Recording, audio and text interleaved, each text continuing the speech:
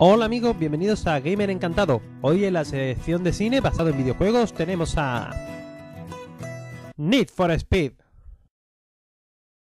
Sí, sí, eh, han hecho una película de Need for Speed. Hypnosis. Condenado por un crimen que no había cometido, Tobey, piloto callejero y mecánico especializado en muscle cars, interpretado por Aaron Paul, sale de la cárcel decidida a ajustar cuentas con el responsable de su injusto encarcelamiento.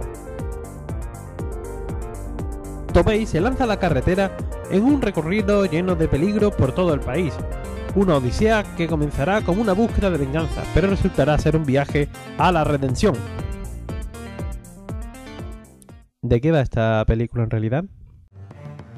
Un tío quiere vengarse de un pijo de mierda por matar a su amigo en un accidente de coche y enviarlo a la cárcel. Para ello, le ganará en una carrera. ¿En serio? ¿No hay más? Pues... No. No. No. Nuestro veredicto. Culpable a la hoguera por copiar a tu Fast to Furious muy malamente.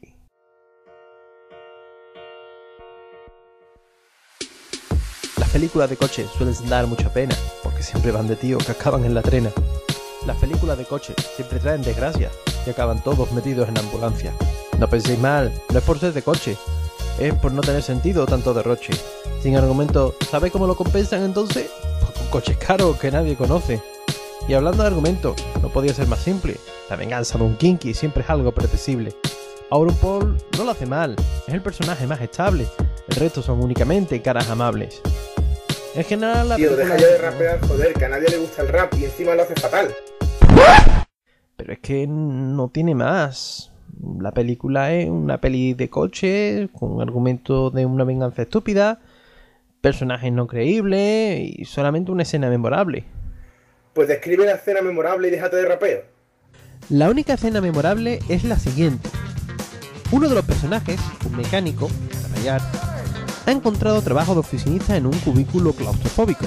Uno de los amigos del protagonista, otro mecánico, le dice que baje para ayudarle con un coche de carrera nuevo, que bla bla bla bla bla bla bla bla. Este hace dar regañadiente y para despedirse, trabajo de mierda, empieza a andar por el pasillo y desnudándose a cada paso, saludando al personal y dando un morreo a una mujer de buen ver. Lo mejor de la escena es este momento. Advertencia al señor de YouTube que mira el copyright en los vídeos. Por favor, tápese los ojos.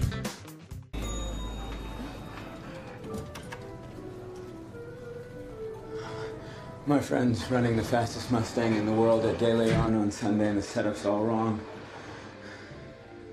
I'm in accounting. Oh. Do you feel like you're dying inside?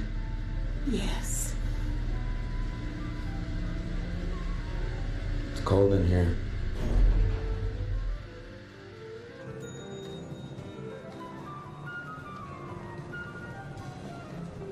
Y ya está. ¿Ya? Pues recomiéndame otra película porque está un rollo.